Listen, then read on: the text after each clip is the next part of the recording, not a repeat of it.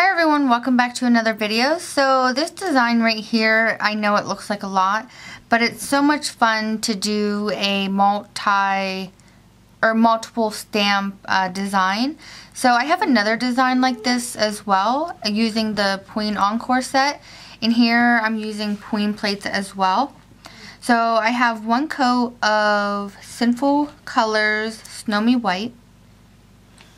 And then I accidentally did the first stamp already, but here I used Pueen Plate 56 and this image right here. And I'm using Claire's Electric Neon um, set.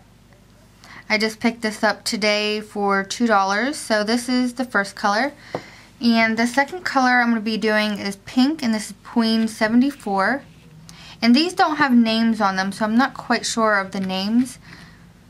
But these are regular polishes and I got them in the mall.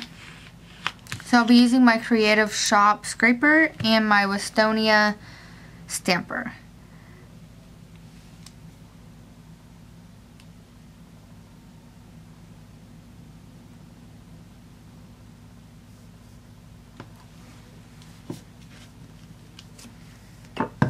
And then the next stamp will be purple and I'll be using Pueen 72. this image right here.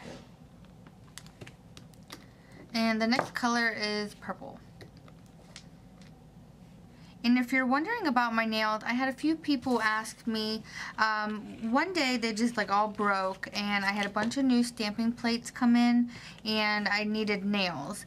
So I went ahead and got acrylic nails, which I normally don't because I can grow my nails. And this purple, if you wait too long, it doesn't stamp right. But there's enough purple on there. Um, so here I have acrylics on, but the acrylic is only about to the tips. So those are almost gone and I just keep filing them. And this side I need to fix because this one broke and these I need to trim. So this is why I haven't done my right hand. Okay, so let's move on. So pueen Plate 51, and I'll be doing green.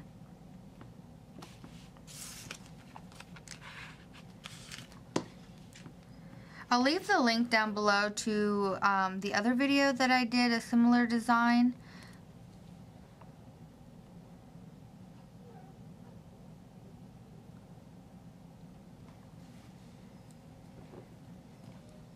Okay, and the last color is yellow, which I know like it's not that noticeable, but I still like to stamp it anyways.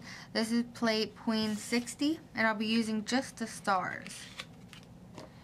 And I'm not sure why my camera's having a hard time focusing. I don't know if it's because of the neons.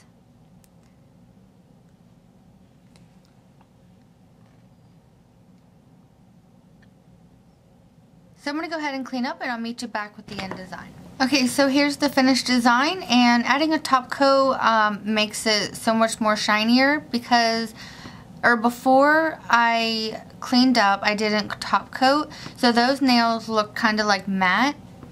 But after applying the top coat they look so much better and of course this would look good even if it was matte but I decided to go with shiny. So here is the end result, and I'll be posting a picture on Instagram, so be sure to check that out. The link is down below, and I'll post the other video similar to this in the description box.